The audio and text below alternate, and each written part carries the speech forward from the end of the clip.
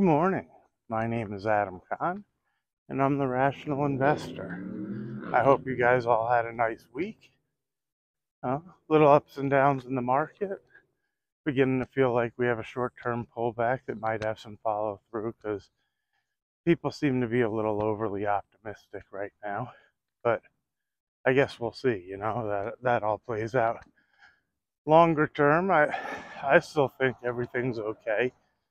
Um, I see the other videos and the nervousness out there, and I think that's all good. I mean, I agree with a lot of it. We spent a ton of money, so inflation is natural. Hard to imagine the dollar won't weaken. The yield is inverted, usually an indication of a recession.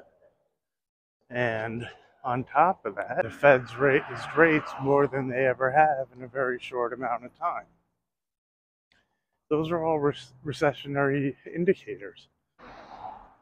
The thing is, unless we have the unemployment that goes with it, I just don't see the same type of devastation that we've had in other recessions.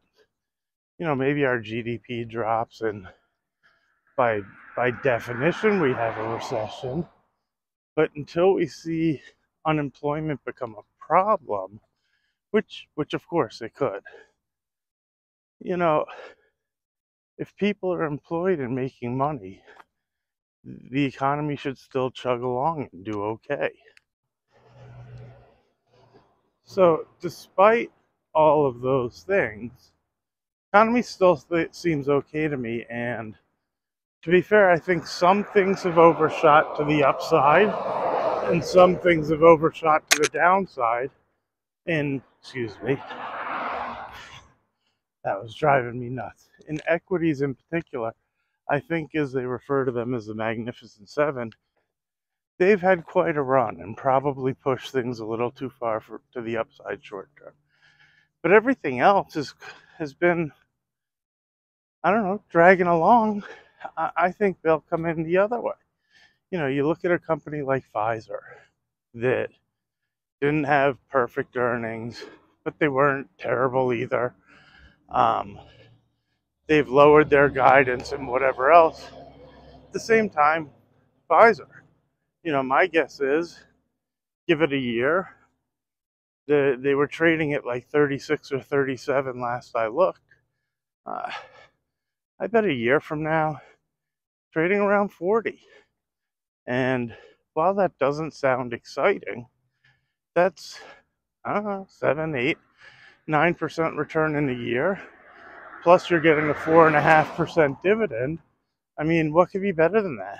You, you might end up 10, 12% return on a boring old stable company just because the ebbs and flows of, of their cycles, you know. And, and that everything is a little overheated in the things that have been going on. Since everything is so easy to change on such short term basis, everybody wants to move into the things that are performing a, a little too quickly and ignore the things that are underperforming. So I think this causes these three month, six month cycles where both sides go a little too far squeezing people out who who don't just leave things alone. You know, you, if you watch my other videos, the the main thing I try to get across is, you know, like cooking type of low and slow, you know, slow and steady. Stick with good companies. Let them play out. If their earnings continue to grow over time, stocks go up over time. And then my favorite Whoops. Yeah, it's still on. Sorry. And then my favorite subject, housing. You know, housing slowed pretty good. I think either we're at the 2% or, or lower, we could be going down in prices. And, I think the Fed's got it where it wants it. You know, my buddy Brad and I go back and forth on this. I think we could see rates drift higher if the feds nailed it and their algorithms or their AIs were accurate and they rushed to get where we are, and they're able to stop now and hold things where they are. I could picture a scenario where the long end flattens out and uninverts, and you see the 10 year and the 30 year make a little more sense in terms of where the shorter term rates are. And that would cause mortgage rates to either stagnate or continue to drift a little higher from where they are. You know, his thought is we're already in a recession and the Fed is going to have to pivot, and that'll cause the long end to make more sense to the short end because when they pivot, same thing, the yields will invert or uninvert, and you'll see the long end make more sense in, into the short end as well. Either way, we both have a long term view that the, the yield uninverts, and where we differ is you know, on my viewpoint, I don't see this huge recession. I think a so- soft landing is possible. And from his viewpoint, he still sees this recession, but it, uninverting, and typically, you know, that's the start of when you really feel the recession. But what I see in mortgage is we're slow, but there's still business, you know? It's not like nothing is going on. People still want to own homes. The ones that have accepted that they're more expensive than they used to be move along and buy a house. You know, the reality is, even if house prices drop and rates come down and, and, and, you have to still be in the position to afford and purchase a home. You know, the, the basics are there no matter what. The, the thing that stays stagnant in a home is the price. I don't really worry about the mortgage the same way. I worry about what I'm paying for it and if I can afford the payments. You know, I, I look in the comment sections on a lot of the videos on YouTube as well. And, and it's kind of crazy. I don't want to, well, there are a lot of rational people. A lot of the ones yelling and screaming in my mind just guessing off of their little comments, probably were never in the position to buy, nor will they be unless they fix the things in their life. You know, getting angry and just saying it's not affordable, but not being in the right position to buy isn't a solution. Always put yourself in a good position. Have good credit, have good income, make sure it's stable, you know, things like that ranting and raving that the government's out to get you and they've done this on purpose and everything else. Not really sure that that's productive, nor do I think it does anything to help put you in a better position. I really think that rates around 5, 6, 7% are really fair, to be honest. Uh, I worry we could end up going much higher, but it, forget all the mortgage and everything else if I were lending somebody money to buy a house, I'd want to make sure they had equity I was comfortable with. And as a minimum, I'd want five, six, seven percent. I mean, I'd be asking for more because there's risk out there and I'd want more return. I think it's pretty reasonable that the government guarantees them and that the banks are able to lend it six or seven percent. You know, just try to think of it in those terms. When we were down in the twos and threes, not sarcastic, even me doing it for a living, and I understand how the system works, I thought the banks were nuts to, to lend at those rates. Why would you want to lend at 3% return? You know, I, I want to borrow at 3% because I figure I can find things that I can do better with. So the bank should be thinking the same way you know, there, there seems to be a disconnect on their end where they just look at overnight lending and try to make a, a spread to, to borrow and lend instead of thinking about the rationale behind it. You know, and I've seen enough YouTubes that talk about our rates are going back down to zero. If that's the case, and I can borrow more at two and three percent, I'd be looking to borrow again. It, it's just it's too cheap you know, every now and then I'm in a position where I can lend money. When rates were that low, I, I would, just wasn't interested. Now we're getting to points where my ears perk up and I listen. Not only that, when rates were that low, I refinanced anything I could and borrowed what I could. Uh, I just thought we went too low, didn't really get it. I called my clients and suggested they refinance as well.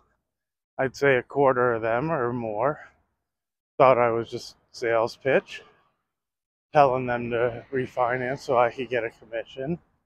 You know, it's just not how I operate. If they called me today asking about refinance, I'd be concerned. You know, no reason if you can afford your payment to reestablish 30 years on your loan. Now, there are ways around that. You know, especially now with rates higher, if somebody's contacting me about a refinance, I get super concerned. Uh oh, got some bug chasing me around. Um, if you're falling behind on your bills, the last thing you want to do is take on more debt to get caught up. I mean, I guess if you're consolidating higher interest rate ones, but I find generally if you've run behind and you're taking out more money, you're just going to speed up the process of where you're running behind and extend the timeline before you have to make an adjustment. So, yeah, when rates are at two and a half to four percent, it's a great opportunity to to refinance.